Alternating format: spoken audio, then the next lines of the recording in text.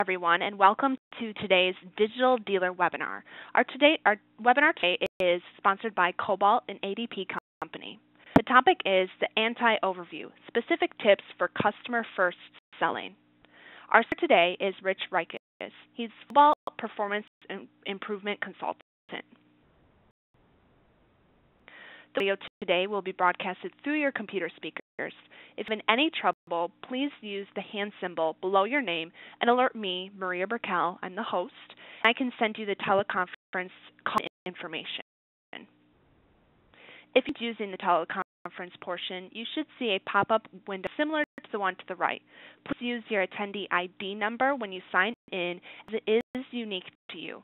If having any trouble, please use the Q&A feature at the bottom right of your screen.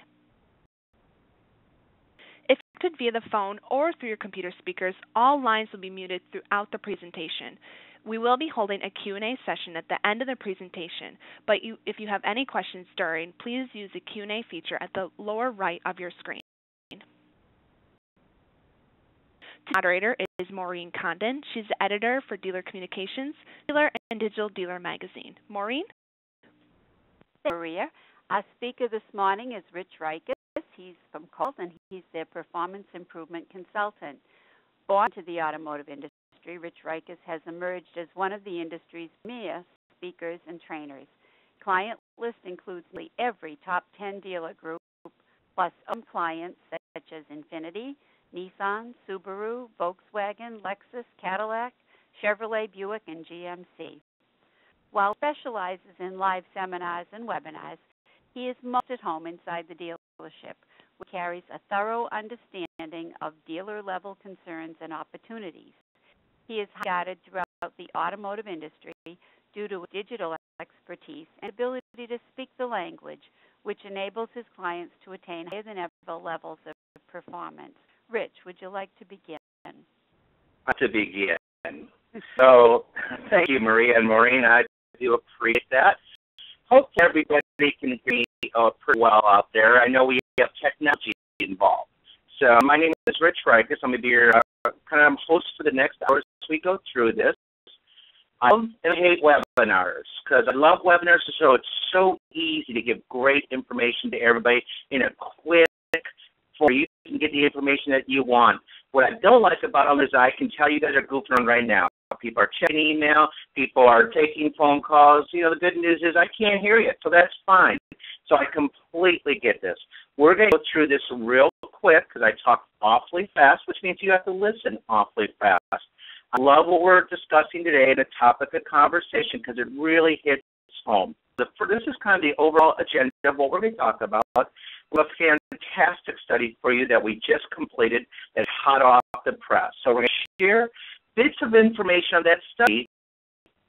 A retail e-commerce guide, what I like to do is do the payoffs. So what does that mean to you? Why is that important to me? What do I need to do to help sell more cars? And as we go through this, we're going to look at phone, floor, walk-in traffic, um, sorry, internet traffic, and say, what can I do to capitalize on that? How can I take advantage of this information? Because at the end of the day, it truly is about selling more cars. All companies try to drive a lot of traffic to your dealership, but the goal is to take those customers, turn them into opportunities, turn them into sales. So when we start looking at some of the statistics, you already know most of this. And you know, the people on this phone, you completely get it. It, it seems everywhere I go, anybody attend a seminar, a webinar, if you're just in Orlando for the digital dealer uh, workshops, if you're you know in Vegas for the driving sales workshops, you get so much out of that. So so much of this information I'm going to share with you, you probably already know. So your goal of this webinar is what can I take out of it? What information could impact my life and help me start selling more cars?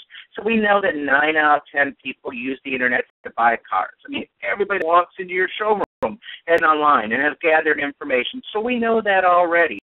What we what is really interesting, what's really neat, especially if you were at um, Orlando a couple weeks ago, you know much about this.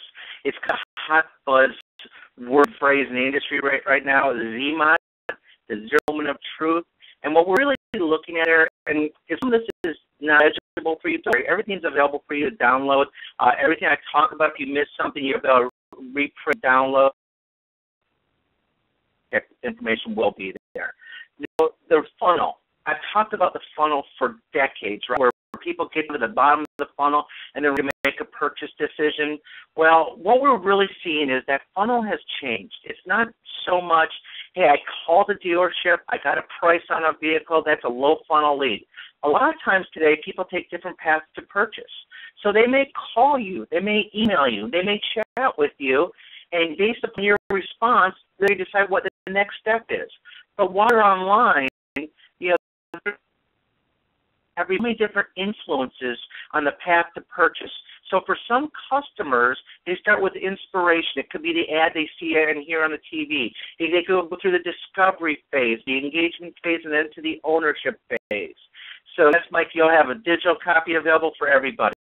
But zero moment of truth for somebody is what makes everything so interesting in our world. The zero moment of truth for one person could be a dealer, a Google review they read out there that tips them to come to your store. The zero moment of truth may be a chat conversation, an email, a phone call that I have that allows me to proceed the next step. So there's so many different paths of purchase. These customers that nothing is traditional anymore. We used to say that, you know, if somebody emails me and asks me for a price, well, they're ready to go. Well, today people send emails, make phone calls, get ask for a price, decide which vehicles they like and what they can afford, and then they go back to the top of the funnel and start doing their research. That's what we're going to share with you today. A lot of the research, a lot of the studies on the path to purchase and what you can do to capitalize on those customers. So most of you probably know the top three resources that are being utilized by U.S. shoppers. These are automotive shoppers. So we're going to take a deeper dive. And remember, it's a webinar. I can't go deep into anything because I only have one hour. Pretty every topic that I talk about, I could do an hour on alone. So that's why it's just imperative you get what you want to get out of this webinar. So we're going to look at the resources used by U.S. shoppers, and these are automotive shoppers. So we're looking at independent sites, we're going to search engines and how they utilize those, and of course your website and why it's so important to have a great website. If you look at third-party independent websites, if you will, you, the retailer, have no control of those sites. You cannot influence them on what they're putting on Kelley, Edmunds, AOL at Autos, all those different sites. What you can do and what should be doing is knowing what those sites are saying, knowing what they are saying about you, your product, your dealership, and use that information to your advantage. Know Kelley Blue Book gives fair market value. You know that Edmund gives true market value. And when a customer asks you a price question, you know they've been online, you know they've been shopping. So knowing what these sites are, are saying about you and your products is going to make you more consultative. And that's what a consumer wants to be. I want to have a fantastic experience. So while you cannot control independent sites, you can be familiar with those sites and use them to your advantage. You know, when a customer says, what's your best price on that vehicle? Go to Kelley, go to Edmunds, ask that customer. I'm ask you, have you been online to see price of our vehicles? Sure I have. What sites have you visited? No matter what site that customer says, you come back and say, love that site. We use it all the time at our dealership. So know what those sites are and use them to your advantage.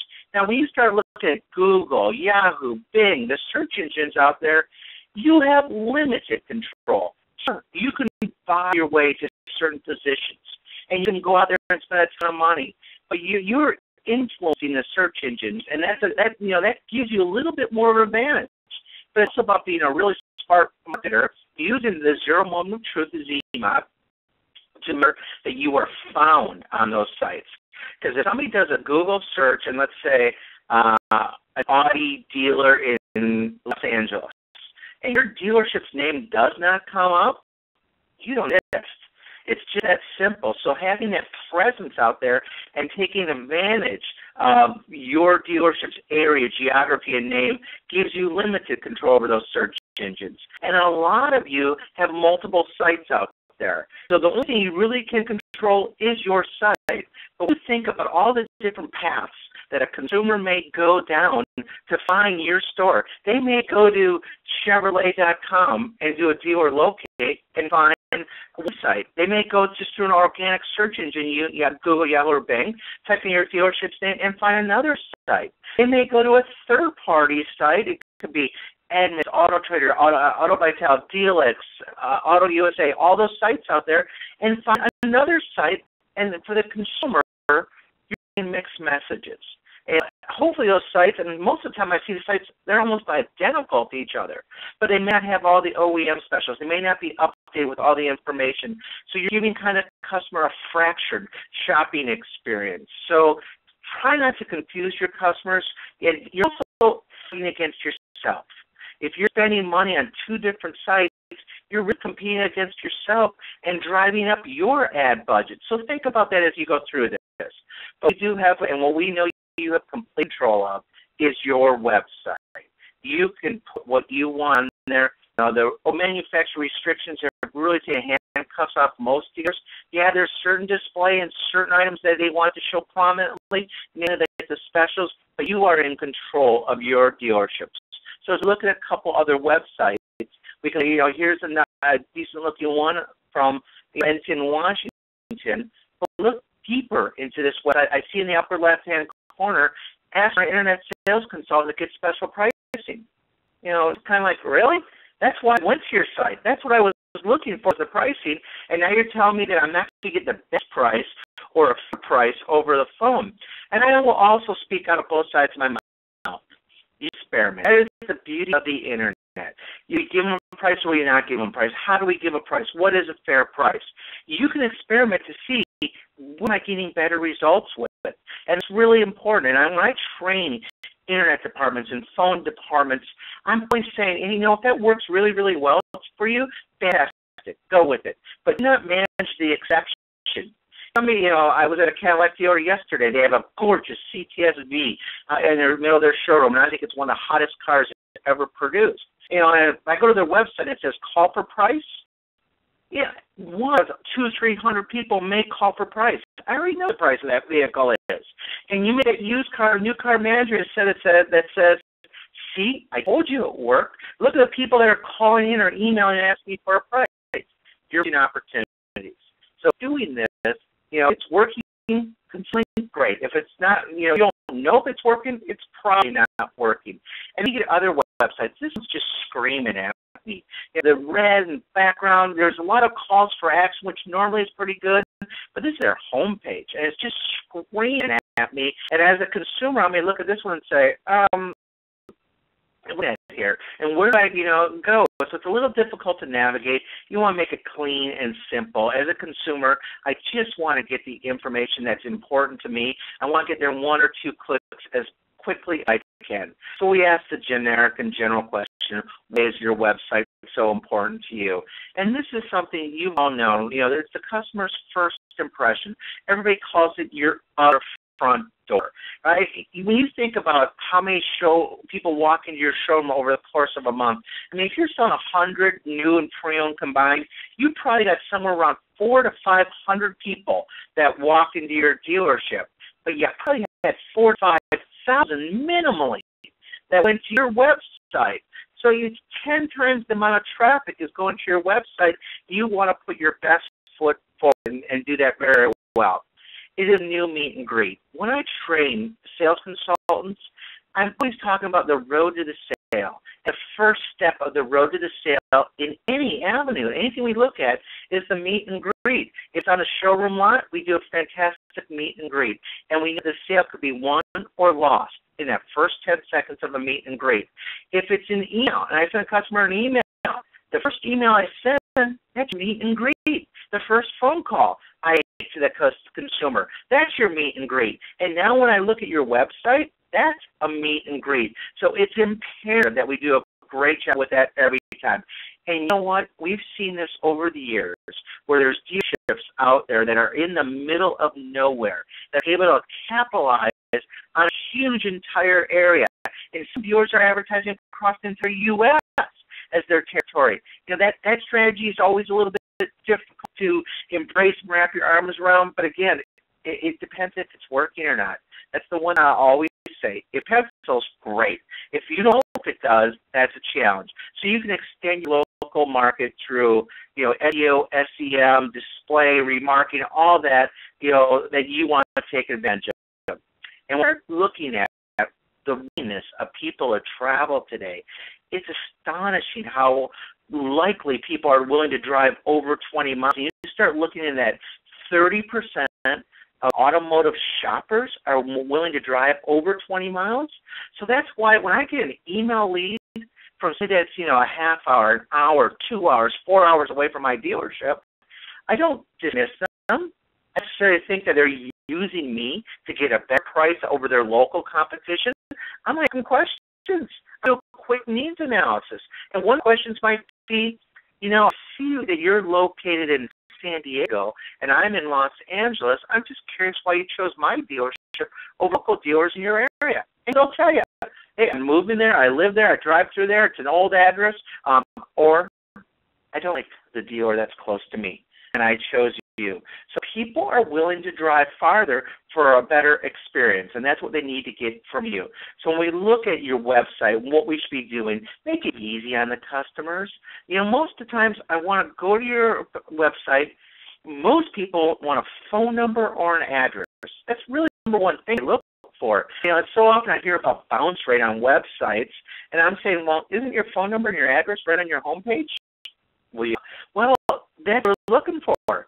So click the back arrow, that created a bounce rate, but I had the information I wanted. So to me, bounce rate, well, it's a relevant number. If you see alarming changes in that, it's probably I got the information I needed.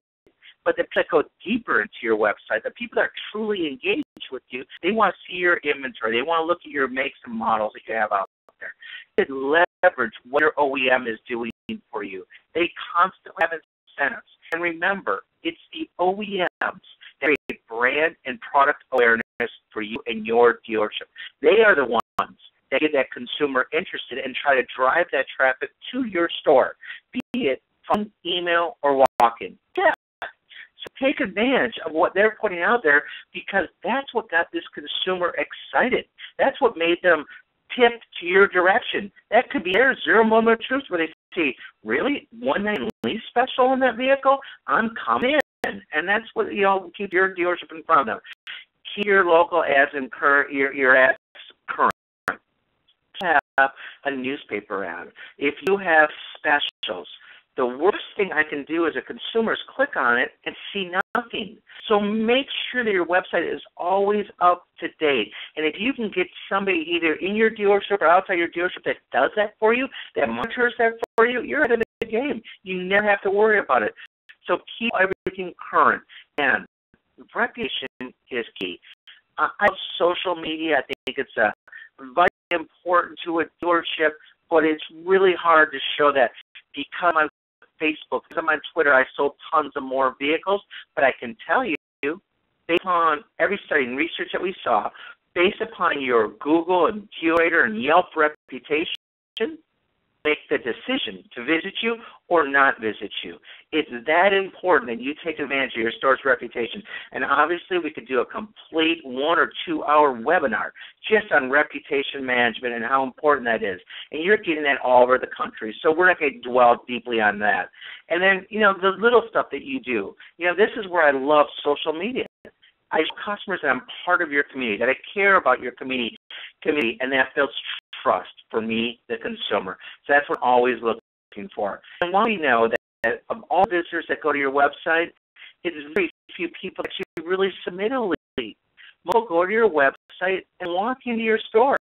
The second big area is I will call. I'll pick up the phone and call your store.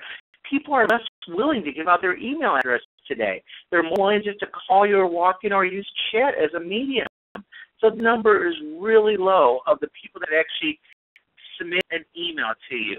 But there still is a good consistent number. Well, we haven't seen email leads go up the last five years in, in any kind of huge amount unless you're buying a lot of 30 third party leads. Mostly website email leads have been consistent for the last few years. Now, here's one of the first results we're seeing of this 2010-2011 study, which is the basis of all this? Kind of to me, uh, duh, you to get this. Top, respond, uh, top prefers respond to every lead. We get that. You know, 99% in this phone, I guarantee you falls in that category. I get an email lead, I respond to it. What you don't know is it goes into spam or not. So when we mystery shop you in part of the study, and please feel free to ask any questions you might. I can try to, you know, field them fly, or Marina and Maria can handle them while I'm talking. Part of the study was the mystery shop of the consumers. And if they send something back, we do check our spam. So we, we you know, this is real good information that we're constantly monitoring and looking at. Look at the response time, how it's gotten so much better. Now this is the best of the best. So statistics that I'm sharing with you are top performer statistics. So our response time as an industry is under, not as an industry, just for the top performers, has got to under one hour talk a lot about response time in our industry. We're going to talk a lot more about why it's so important to respond as we go through this. And this is a cool study from our friends from Urban Science. And you could see that they did a study that showed, hey, just respond quickly. In fact, if you respond within one hour, you'll roughly close 13% of the, your traffic today. So they love when other companies put these studies out there. So they're showing a quick response time, and I'm going to show you how a quick response surrounded by quality can really drive these percentages up. So response time is imperative. The fact that you guys get measured so heavily on this sometimes is challenging to me, and I know we ex- need to exceed customers' expectations, but I'm going to tell you, response time that is not a good message doesn't matter. Respond with a great message, that's what makes the moment of truth happen for the consumer. And I know for the internet people that are on this phone right now, the bane of your existence is this. Somebody submits an email to me, respond via phone and email, and never hear from them again. That is, you know, universally the biggest challenge I see when I walk into a dealership. Nobody responds to me. That's why we need to look and see what are you saying, you telling to the customer, because quality matters. 80% of the customers said if I receive a poor response, I, am sorry, I'm going to go back. Uh, if I receive a poor response, I go elsewhere. It's just that simple. So if I ask you a question and you answer it, you're on my list. And another study that we've looked at also says if you're a Chevrolet dealer and you give me the information I'm looking for, you're off my list.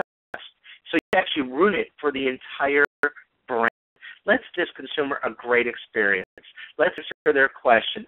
So when we start looking at some of the elements of a good response, and you know, this is a lot to look at on the screen right now, and it's things you probably already know. Can the can the internet sales consultant spell? You know, are they answering my questions? Are they giving me alternatives? Are they giving me details? The basics. Good response that you should all be doing today at your dealership. But with mystery shops, we really ask the customers, and this is the core of the mystery shop. We found, we went to a dealer's website, we set a lead on a new vehicle. We set a second lead on a pre-owned vehicle. We asked two questions. Have it? I mean, how much is it? And do you have it? That was it. He said, we're really interested in this Honda Accord. Does it come in black? How much is it? And we asked those two questions, and we provided a local phone number for the ship to call us back. So here comes a bunch of results from this study, and this is where you have to measure and get yourself to your competition. And I will state this one more time. The results you're about to see are really the best of the best, the top tier people. So 40% of the time, the best of the best answered, give it how much is it. 40% of the time. When we break them down to the individual questions, the percentages are going to go way up. This, for some reason, dealerships answer one or the other, but only the best of the best in both questions. And I ask you, do you think consumers already know the price of the vehicle they're looking at? Do you think they know the cost of the vehicle? Do you think they already know incentives on that vehicle? Mean, you start looking at how much time this consumer spends online, how much time they spend shopping at all these different sites. They're looking for you to confirm this information. And I'm not saying you need to be the lowest price or the best price. In fact, I'll say the opposite. But you have to answer the questions. And how you answer it makes all the difference in the world. And we dig a little deeper on this where we ask, how much is it? The best, the best. In question 57% of the time. So great job, the top performers. There's so many dealerships that refuse or well, you know that you know that vehicle MSRP is this. You know, we want to answer a price question. Sometimes it's just easy to say, and I really want to give them to the phone. That vehicle starts out at, the opportunity to drive that vehicle yet. And really get pushed on the price question, go to a third party website and use that to your advantage. Use Edmunds, use Kelley, use TrueCar. Quit throwing out there. Use these sources as a, a crutch for you to answer those questions. And you know, a pretty easy question to ask, right? Do you have it? 70% of the top performers answer that, which means 30% of people are not even acknowledging the consumer question. These are the best of the best. Acknowledging that question is, sure, we have that in stock. I'm sorry, if you don't have a Malibu in stock, absolutely right. So I would never tell a customer. I would say I currently do not have any Malibus in stock. I have access to hundreds of them. Let me ask you: Have you had the opportunity to drive a Malibu yet? You know, you find out where they're at. Don't share the customer because you don't have that. And when we start looking at some good responses, and this is kind of a really thing that I love about this one we put together. Yeah, I'm going to give you examples here. Uh, does this really answer the question on why I would choose your dealership? And I'm give you a better answer. So we carry the largest inventory area, and I'm sure we have a vehicle that fits your needs. Really? We're the big, we're the best, right? You're kidding, right? How about going something like this? We are internet customers, the guaranteed lowest price. Well, that doesn't answer my question either, does it? So you need to come up with something a little bit better than that. You know, and this might help. You know, we do have 2012 Silverados that you inquire about. The MSRP at $34,320. Our special internet pricing is 32.6, which includes a manufacturer incentive. If you give an incentive, you've got to give an expiration date. So if you have a lease special, finance special, cashback, whatever it might be, you have to let me know that it expires. Otherwise, there's no sense of urgency. And what you can see, I really like about this short response is it gives me a hyperlink. So that 2012 make model is hyperlinked to that vehicle within my website. I want to constantly drive traffic back to my website at all times. We'll deeper into this.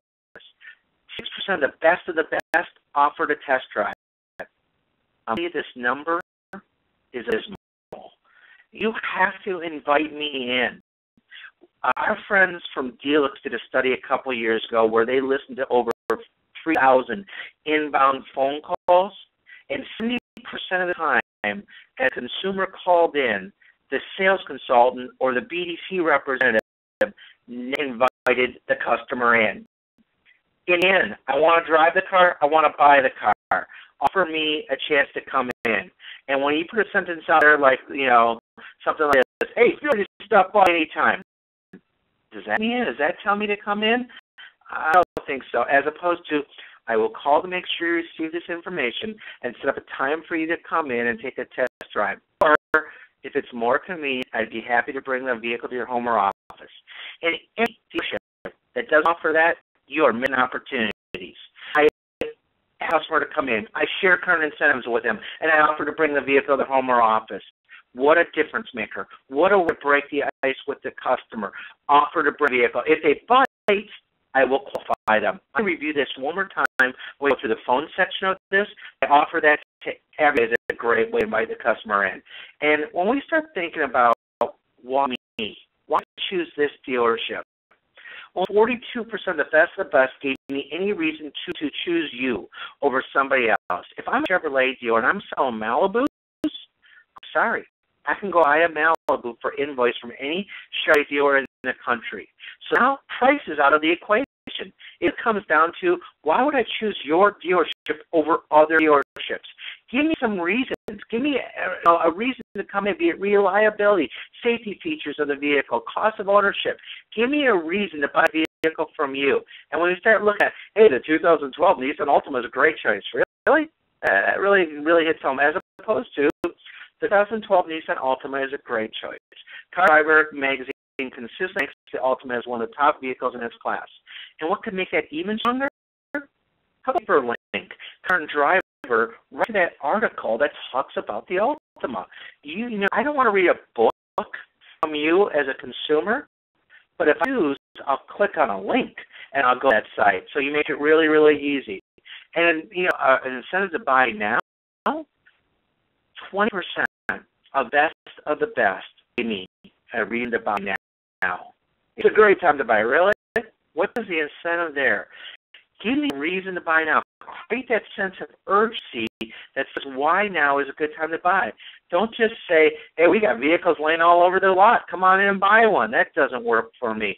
We have some great deals on the Model X. If you buy for May 12, we're offering $2,500 off MSRP. So we gave them an expiration date and we gave them a great deal. You guys know most of this. It's just do it.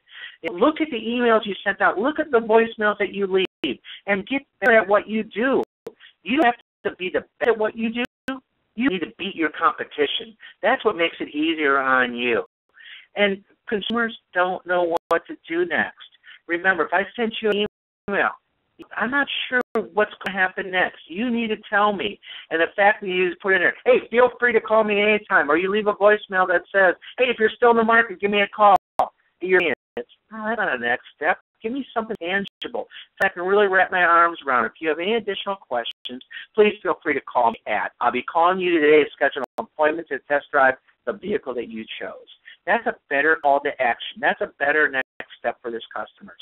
And this is my favorite, and I can do an entire webinar just around the inventory alternative. I will try not to speak too deeply on this, but 44% ever said, here's an alternative. And we have many to choose from. Really? Well, that's not an alternative. An alternative vehicle is, and you've seen a lot of companies out there. Response Logic does it very well with good, better, and best on their vehicles. That's something you can be doing at your dealership all the time. Because here's the deal. If I'm selling a Silverado to a consumer, I'm telling you, load that bad boy up with everything. You know, it's going to have the navigation, it's going to have Bluetooth, all-wheel drive, crew cab, you know, all the good bells and whistles that I want. Nobody builds the base vehicle. People always build the car of their dreams, the car of their wishes. And we know a simple pickup truck, my vehicle can raise, range from 15000 to 50000 so people build a vehicle. If you don't give me an alternative, so if somebody's in a Toyota Silverado and what's your best price on this fifty thousand dollar vehicle? Maybe you can do it for forty five or whatever that number is. But you better let me know that I have other new that start as low as twenty one thousand five hundred and go up from there. But I also have, and this is the silver bullet. I have a 2009 Silverado. It has 23,000 miles on it. It is certified pre-owned. You can get that for twenty-two thousand five hundred and completely certified. Please click here to see photos, more information. Because the real deal here is, if I can't afford your vehicle, I'm going to tell you. Yeah, it's simple. So if I come in and drive a vehicle and don't buy a vehicle, I'm not. And the biggest reason people drive and don't buy, I don't like you. It's that simple. I can't afford your vehicle. I'm not going to embarrass myself. I know you. You don't know me. I'm not going to embarrass myself and tell you that I can't afford that vehicle. Send me a pre-owned alternative every time. Get options. Make it the either or close. Would you like this new or would you prefer the certified pre-owned? When I was walking the lot selling cars and the consumer said, can you do better on price? The thing I said was, which options would you like to remove? You told me navigation may not be that important. You told me that Bluetooth may not be may not be that important. I want all those. The consumer says. Well, have you considered certified pre-owned? You know, at Lexus, we have the best certified pre-owned. I don't care who I'm talking about, right? It's the best certified pre-owned program in the market. Let me share with you a little bit about what the certified pre-owned program is, and if you're interested in taking a look at that. And that does is protects gross, protects price, gives you the either or close, gives you a, another leg to stand on. It does so much. So as I follow up with the consumer, we know the best best are offering this pre-owned alternative 44% of the time. Most people don't do it. It's truly a silver bullet. Give me the pre-owned alternative, specifically CPO, if you participate in that program. And when we start looking at the elements of an email and good responses, this really is a good initial email. I look at these and say, like, oh, that's a book. That's a really long email. But you know what? Initial email, you really need to put your best foot forward. On subsequent emails, they're going to be short and sweet to the point. I may cut and chunk out this one a little bit and give them the information they're looking for, reasons to buy, reasons to service, all in there. But this one's loaded with great information that I may probably hang on to. A good subject line is important. We cut off the signature on this one. This is a great example of a vehicle, an email response that you can send to a consumer. Don't worry if you can't get through it all. You can go and read it later. So the key to this whole email program is it's not just about sending a message, about having an effective message. Why me? Why dealership? Why my product? Why would I choose you over else that's out there? And when we start talking about phones, oh, you know, for 20 years, 30 years, we always said the biggest profit leak at most dealerships is the way phone calls are being mismanaged. They went through this whole internet phase where the emails were flying in and people were not familiar with what to do and how to handle them. So we said the biggest profit leak in a dealership was emails. We're right back to phones. We are right back to the biggest challenge at most dealerships is giving good phone, doing a really great job. So the customer provides a phone number, the best of the best, call 66% of the time. And those 66% that call, 81% call on the first day. I will tell you right now that the average dealership, when provided a phone number, only 40% of the time do they ever call consumer back. So here's the deal. Consumers may say preferred method of contact email, but if you a phone number, they gave you permission to call. If they give you a phone number, they expect you to call. Pick the phone and call me. That's what I want. If you think it's easier to send an email first and then pick up the phone, go right ahead. I have time. I just pick up the phone and call the customer. And usually take care of everything. My response time is fantastic. I catch them while they're still in the ether, right? They're still excited about the vehicle. It's like doing a test drive with them. They get in that ether and they get hypnotized by the new car smell. I call them right away. 81% of the 66% that call do it on day one. You have to make phones part of your process. If you don't, you are missing the boat. And if you tell me you don't have time to make a phone call, then you don't have time to do an email. It's more important to make that phone call than it is to make said email. Your attitude, your enthusiasm does not come out in email. Your person can come out on a phone. Use the phone. It's the number one weapon you have. Before you make that phone call, have a plan.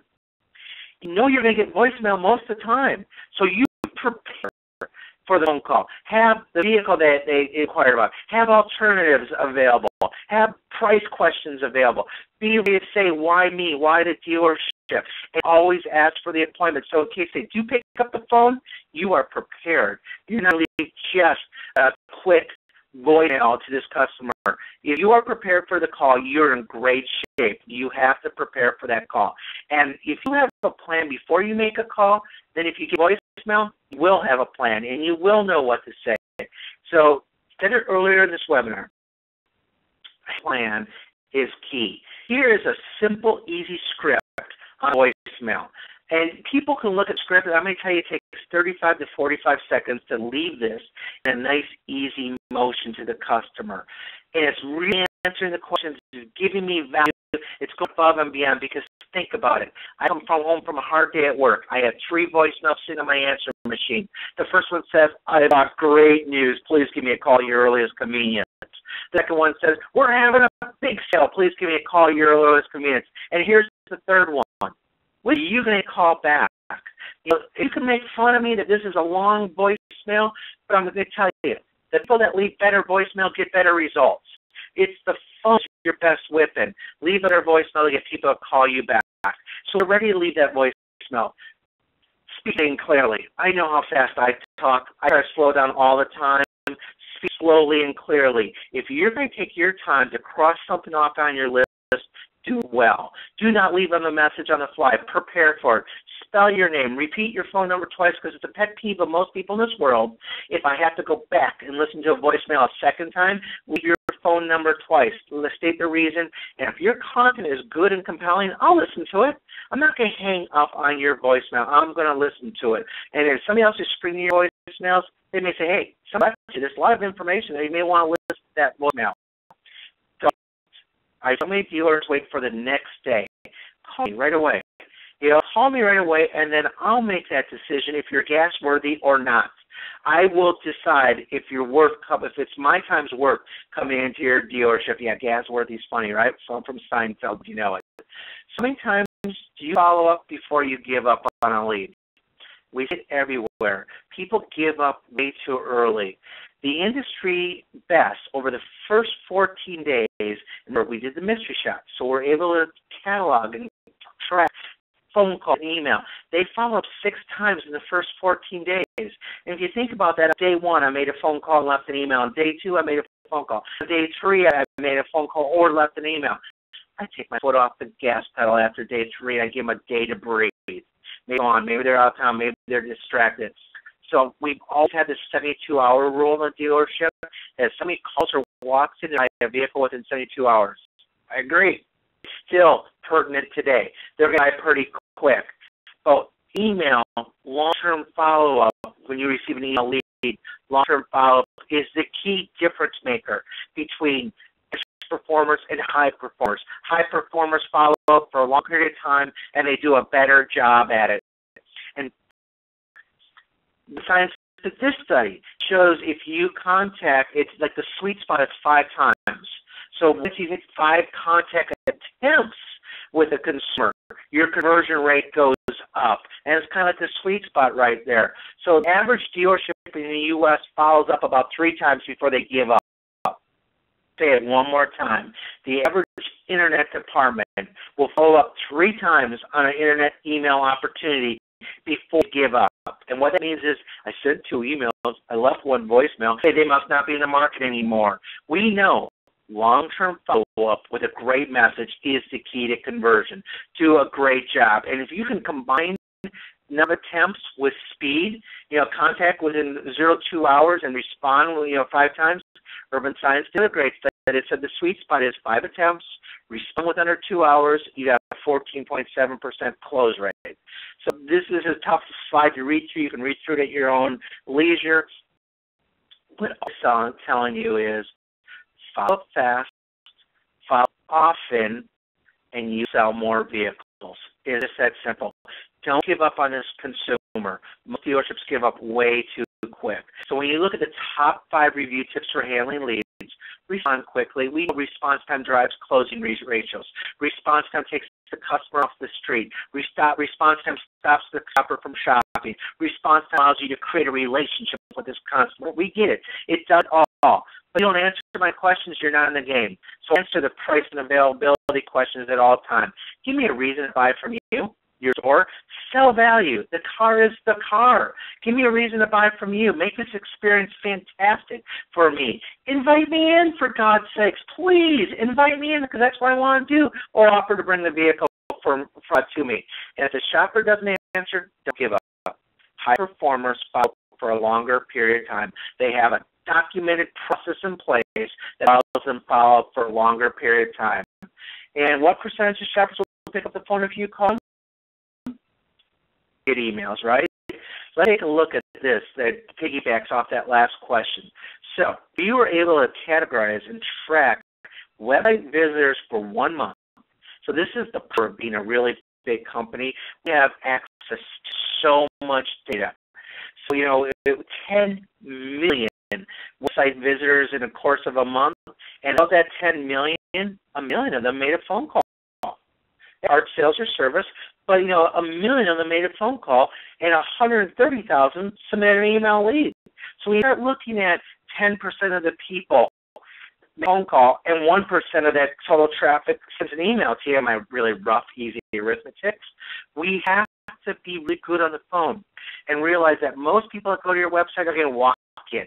Second biggest area is phone, and by far and away the least is email.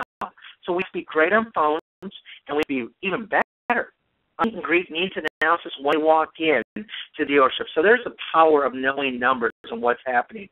Customers want information, right? When they you, when they email you, they want information from you. If you don't give them this information that I already know, you're giving me a reason to go elsewhere. So answer the questions for me. Sell the appointment, not the car. And absolutely, at Lewis, you'll be able to download and print this out anytime you want. And I put all my contact information. We got Q and A coming up as well. I've always said this: sell the appointment, not the car. You know, a customer asks you a question, you have to answer it and then invite me in. So we're going to do that in, in a couple click clicks on this, and it's right here with my inbound call. I'm going to put all four of my little talk tracks right there. When a customer calls you or when you're calling out, the very first question that you ask, so I'll let them ramble on. I'll let them ask a question. I'll let them say, you know, it's what's your best price on that vehicle? And I'll come back and say, that vehicle starts out at, have you had the opportunity to drive that vehicle yet? If they haven't driven the vehicle an email, it's about 70% of the time when six minutes an email leads you, they have not driven the vehicle yet. And if we're caught up on price, if we're discussing on payments and they've driven the vehicle, at? why are you doing that? You're shooting your own gross in the foot at that point in time. But I invite them in. If you know that didn't work, I share with them current incentives. And I ask the question, I used to work the current incentives that Ford has on that vehicle. Well, I know there's low rate financing or there's a special lease.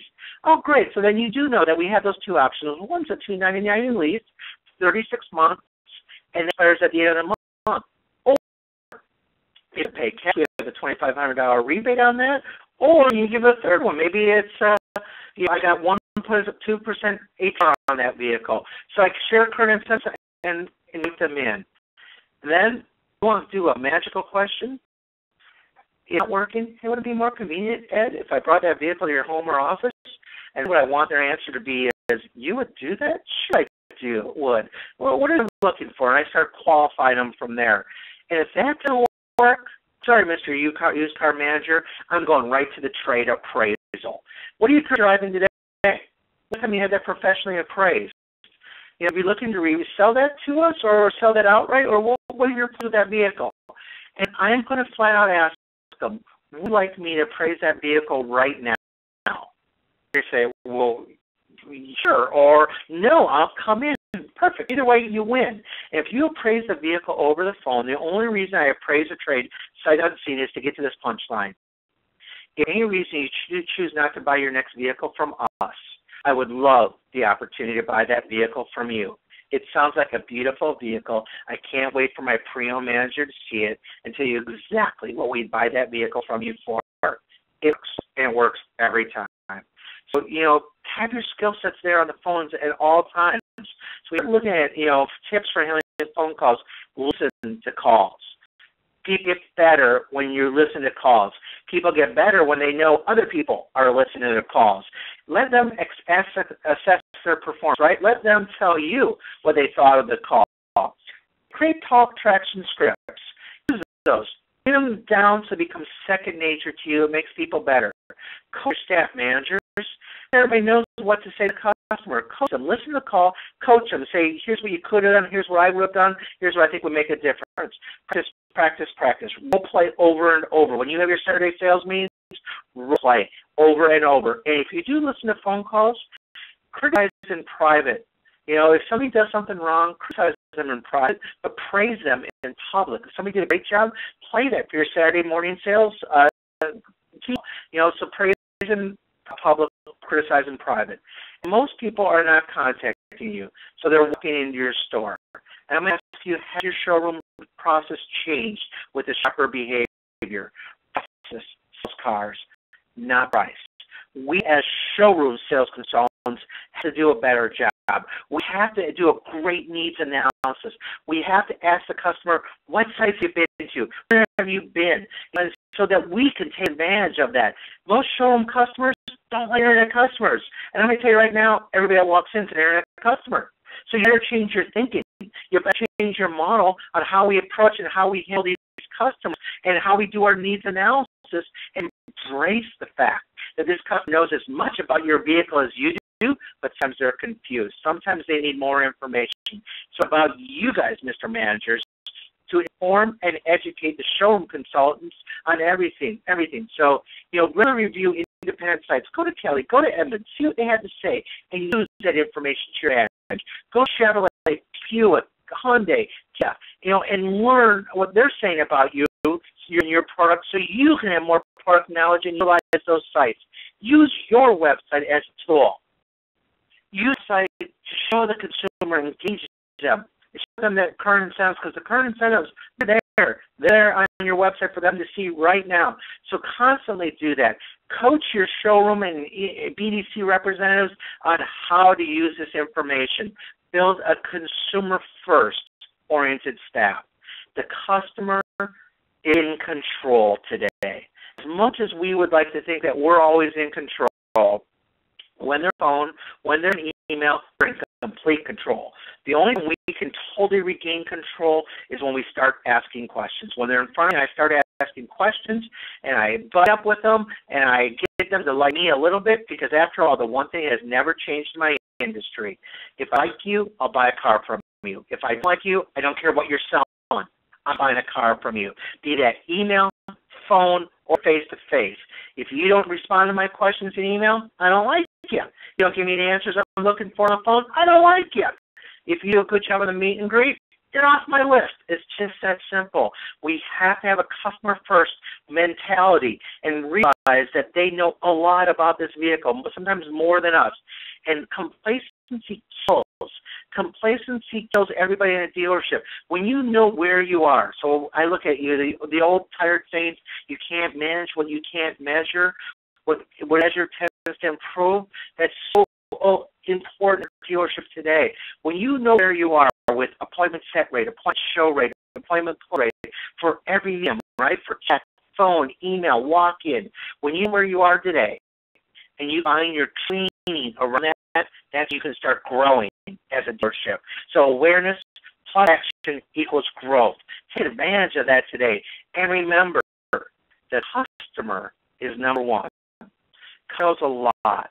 And so we know, you know, what the reality is, because perception is reality, right? And it's more important what the customer hears.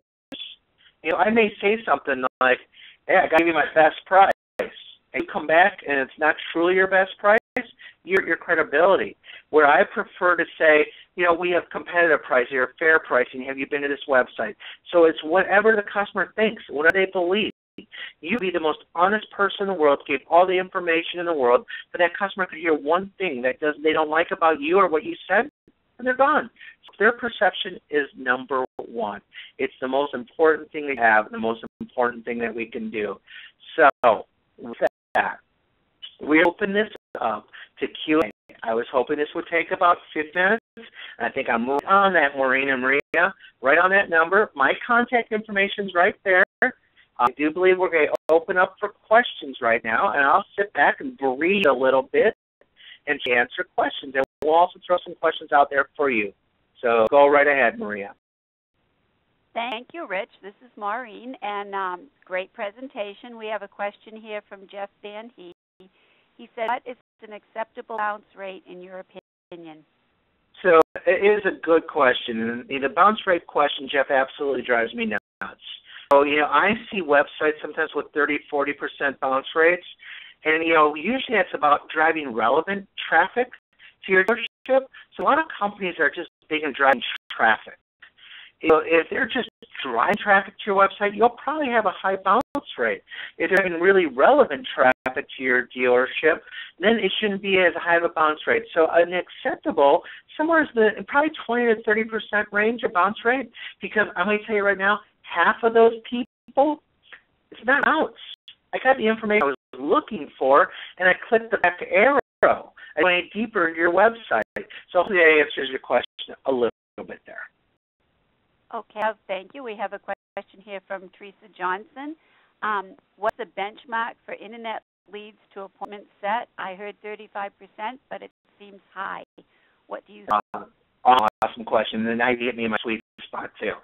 30 to 35 percent is absolutely a great number. I have a lot of dealers with a 50% appointment set rate, but here's you have to start thinking. Let's use still easy numbers right now.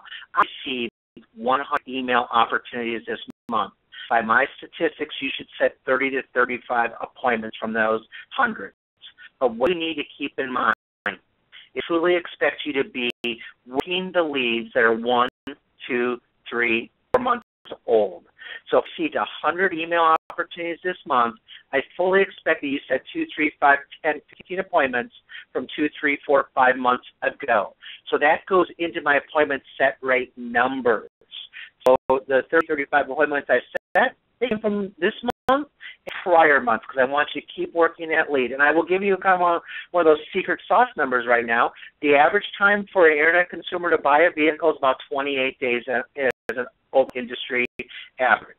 So 28 days. That means some people are buying some an email lead and they buy a vehicle in one day, and some people buy in 60 days. The dealership that follows up three times, you don't have time. You don't have the opportunity to get them in. The dealership that has a long-term commitment to process and follow up, you're going to get me to come back in. So you're going to set a lot of appointments from older email opportunities that I received.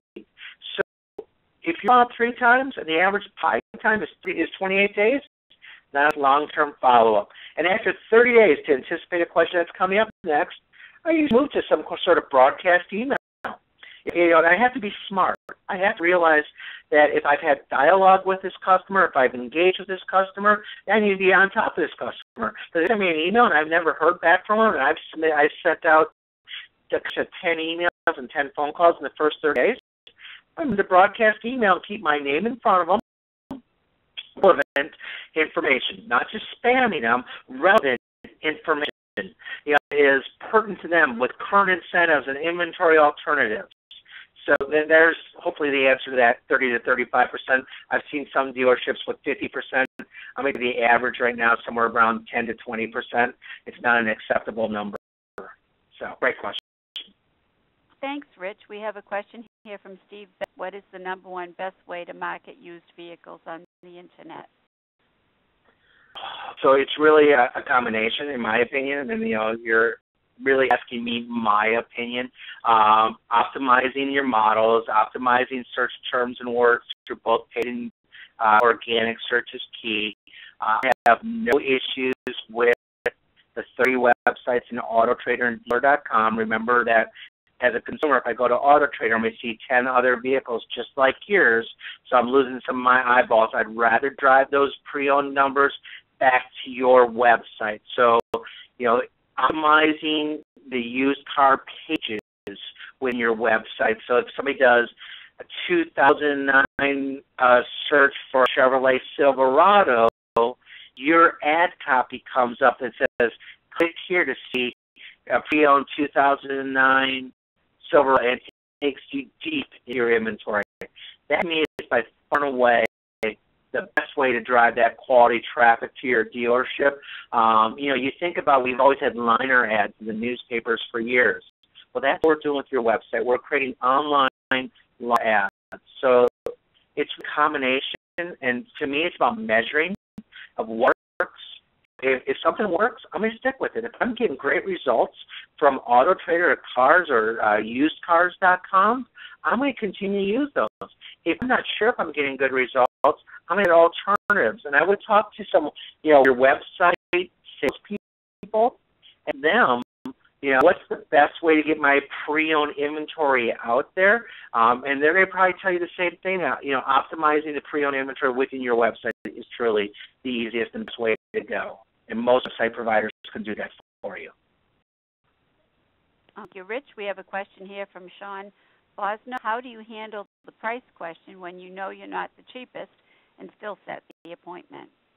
Great question. I hate the word cheapest. Get your vocabulary. I know you're just in it to humor me. Um, the word cheap implies quality. So we want to talk about being the cheapest price. You know, lowest price, best price, that's one, one thing.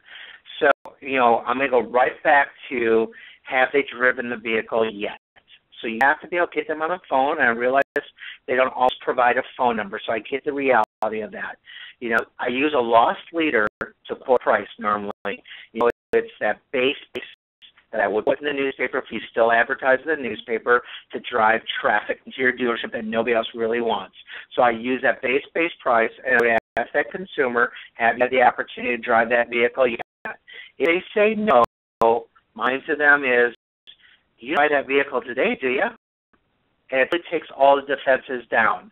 If they say, yes, I've driven that vehicle, I think it was Sean that asked the question, Sean, you know, then something went wrong. And I said, consumer, oh, where did you drive that vehicle at?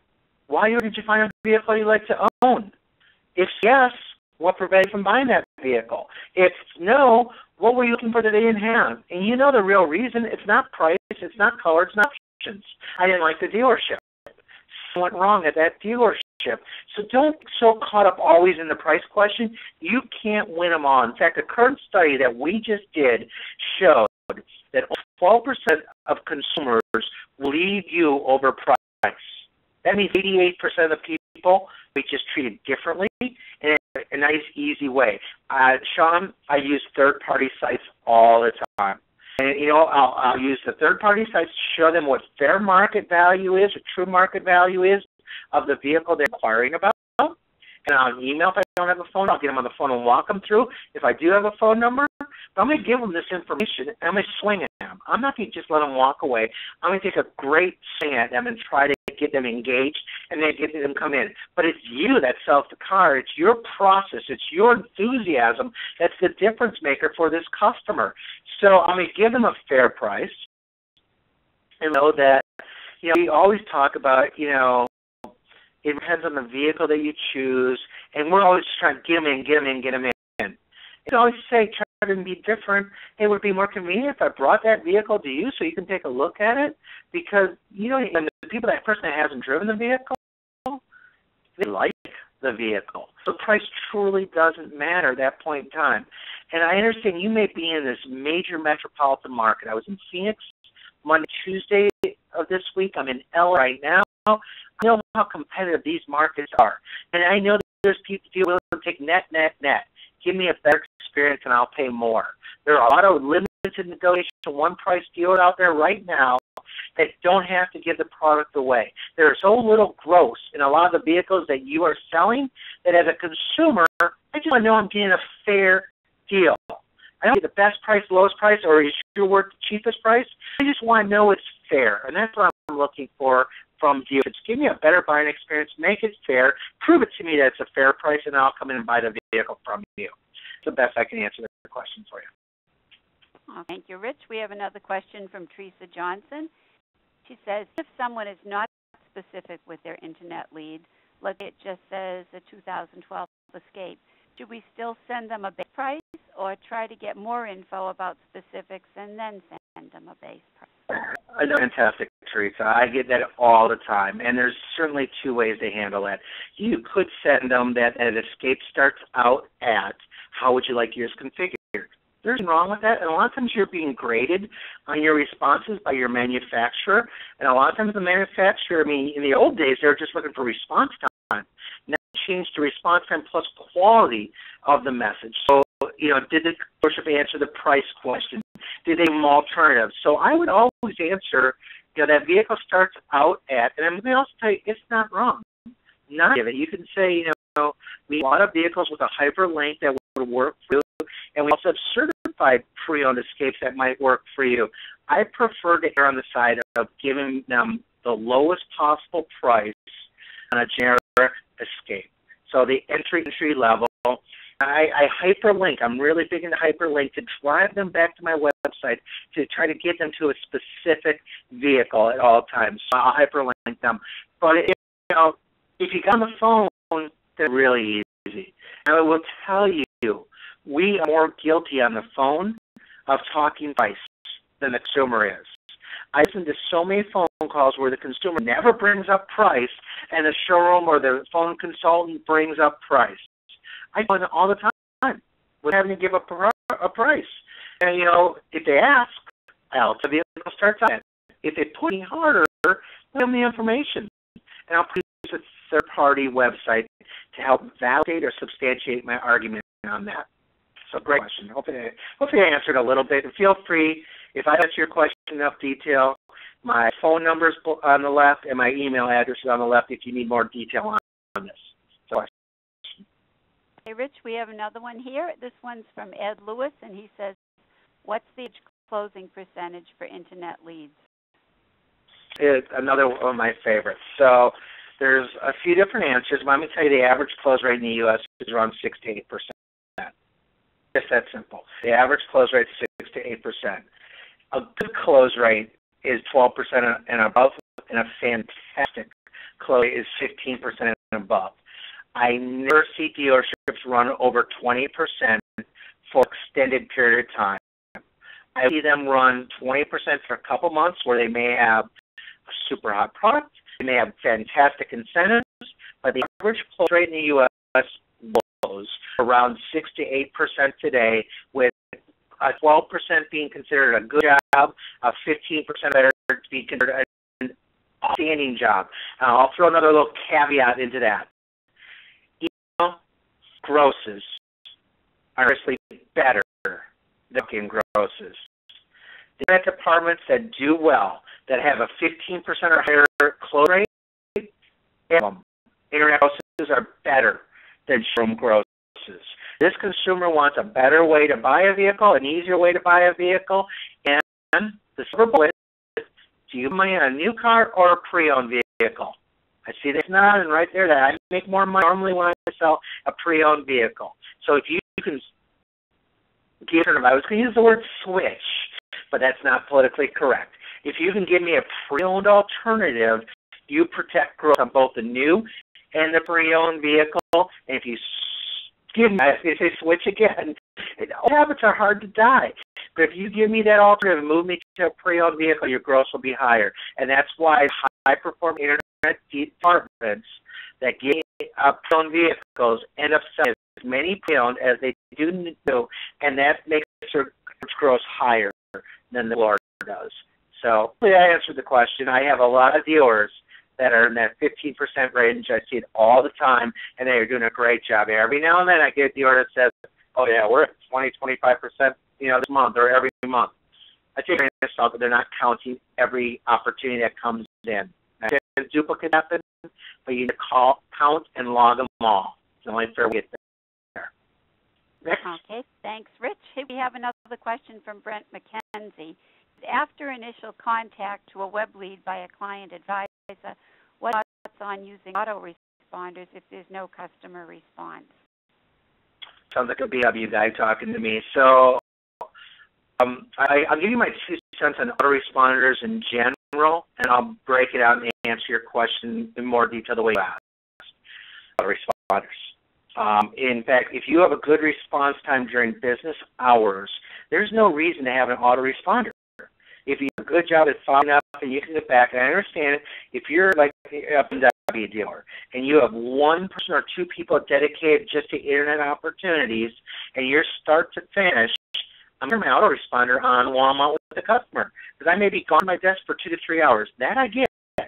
There's a team of people that are handling email opportunities. Why need an autoresponder you're in front of the computer and your response time is good already. And think about it. Um, there was actually a question that came in in a private chat somehow that says, you know, an email comes in at three in the morning or on Sundays, customers really expect immediate response. I'm going to tell you they, they don't. You know, some of the manufacturers will say, but you exceed their expectations if you respond to them at three in the morning. Let me tell you, Fry, we burn people out in this industry. We know how key response time is. But if you are using autoresponders for your first response, think about it. I went through Kelley Blue Book. I built a vehicle. I admitted a lead through Kelley Blue Book to three different dealerships. I now get an autoresponder through Kelley Blue Book. That's that email to your dealership that says an autoresponder. So I have two autoresponders before I even got a real response from a dealership.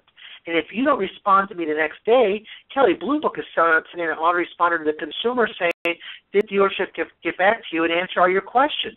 So there's now potential for three auto responses before you ever got back to the consumer.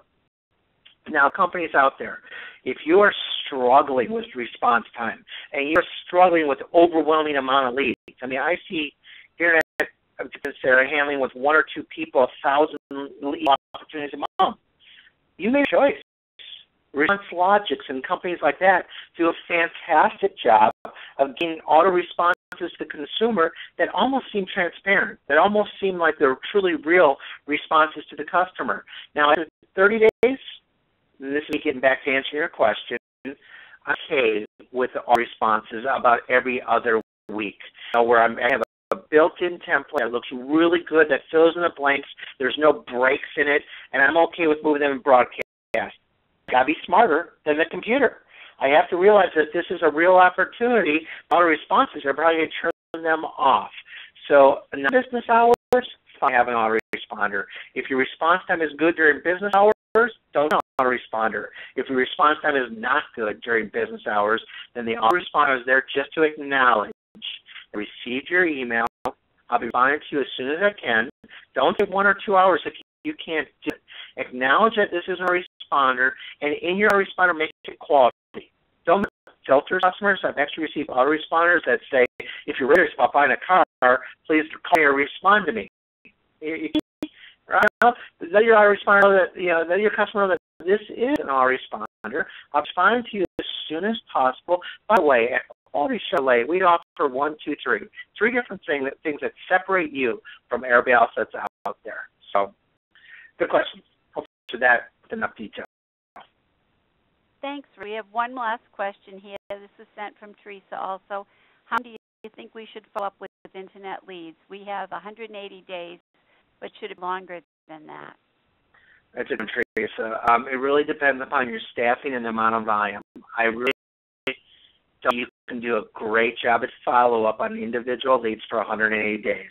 It's daunting to me when you think about you know how long you're following up and how overwhelming and how many emails you'll be following up on, you know, six months every year. I mean, you're talking about thousands and thousands of opportunities that you're trying to follow up on. I applaud you for trying to follow up for 180 days. And I'm sure you're, you're looking and laughing, going, okay, I'm not really responding, you know, to the person in detail that's 180 days old. My first 30 days, I have a complete process.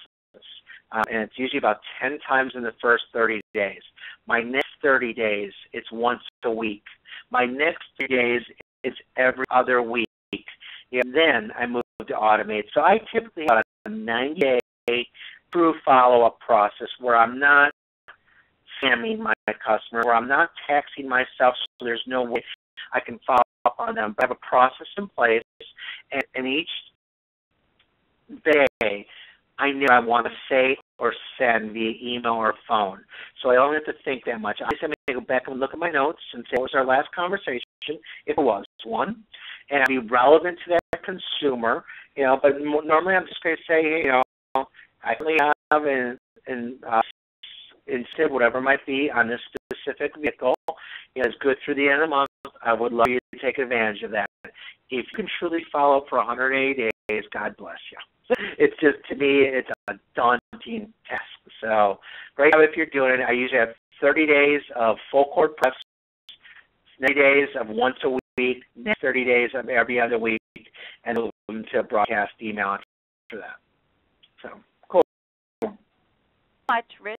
Thanks for giving a great presentation here today, and we want to let our participants know that they'll be getting a short survey, and we hope you'll answer it after you exit the webinar. And if you have any additional questions or would like a hard copy of the recording of today's presentation, please email Maria Burkell at mburkell at dealer-communications.com. And we hope you'll stay tuned for upcoming digital dealer webinars. The next one will be on Thursday, May 10th. It's Moneyball, Prioritizing Your Digital Advertising Spend, and it will be presented by Jim Flint, President and Founder of Local Search Group. That'll be 10:30 Eastern Time. I mean, I'm sorry, 11:30 Eastern Time, 10:30 Central, and 8:30 Pacific. Um, and again, thank you so much, Rich, for a great presentation. Pleasure. The one for signing on. This concludes the webinar. Have a great day.